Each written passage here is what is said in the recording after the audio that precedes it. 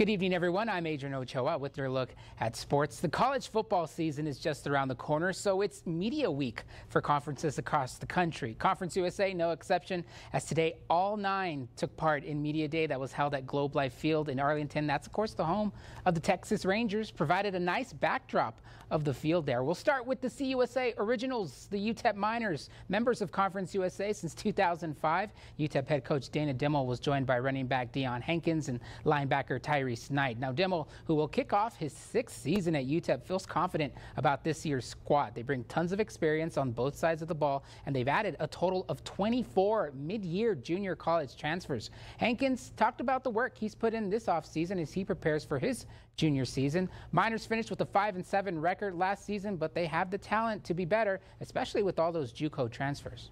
They've been working out with us the whole spring, so we know what we have. And I was putting together our depth chart, our two deep for special teams, and I've mentioned this earlier. It's full, and that really tells me we're the most athletic that we've been since we've been at UTEP. And so now the talent we have coming back, plus the athleticism, you know, we got to get those athletes playing some really high-level football quickly. But I think it'll be our most athletic team. Performance-wise, I definitely feel like a lot more explosive. Uh, I feel like I didn't really miss a step. I feel like I've actually gotten a, a bit faster as well, so that's kind of the crazy part. Hankins saying he put on 15 pounds in this offseason. As for the newcomer to Conference USA, the NMSU Aggies, they're